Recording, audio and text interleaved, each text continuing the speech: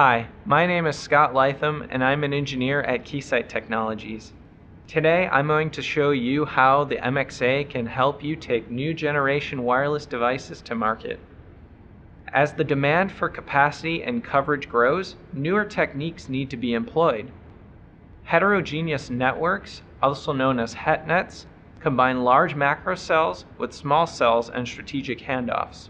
LTE Advanced has introduced many new features to address more efficient operation and the need to utilize small cells. Chief amongst these new features are carrier aggregation and the use of 256 QAM modulation. Due to the short range and operating environment of the small cell, it is possible to achieve enough signal to noise ratio for higher order modulation, which in turn increases data rates. Now, as wider bandwidth and more complex modulation schemes are employed, the hardware designs are pushed to their limits. Test requirements are also increasing.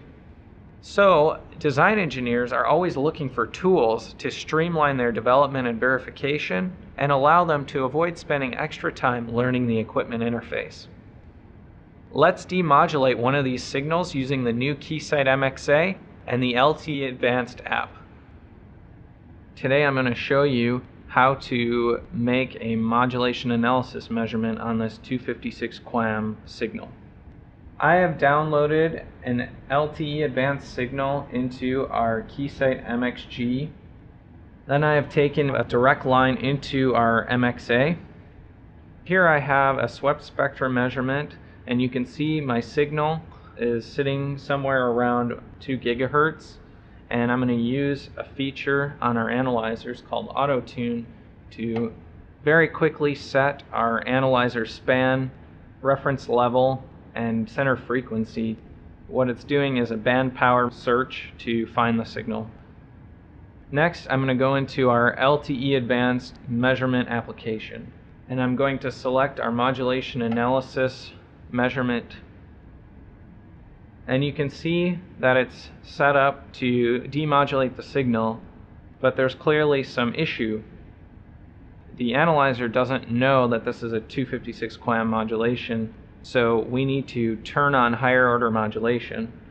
We can do that using this new, fast, and easy user interface, and that's with two touches. We can open up our advanced demod setup dialog, and we turn on higher order modulation. And now you can see our constellation is very clean and we're able to demodulate the signal. You can also see our error vector time display is not scaled properly. So I'm going to fix that by setting auto scale here. So now you can see our result display. The key advantage of our results is that everything is color coded. In our frame summary, we can see each part of the signal and we've assigned a color to it.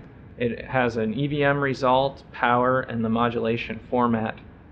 And each one of those corresponds to the same colors in the error vector time display and the constellation display.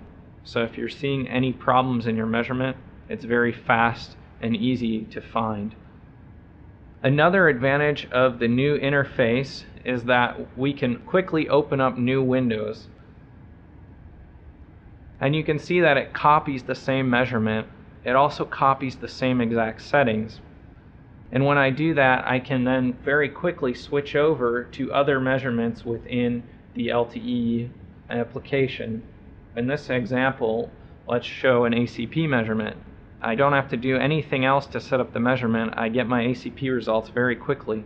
And now if I want to switch back to our modulation results to see how my signal is affected by it, I can do that. And I can switch very quickly once again back to the ACP. You've just seen how easy it is to demodulate the latest signals using the new Keysight MXA. You can quickly troubleshoot and verify designs. The easy setup color-coded displays, and flexible windows minimize your time and take the effort out of deciphering complex results. Check out our web for the latest information on the MXA, your optimal choice for testing wireless devices and systems. The MXA has the flexibility to adapt to evolving test requirements, both today and tomorrow. Thanks for watching.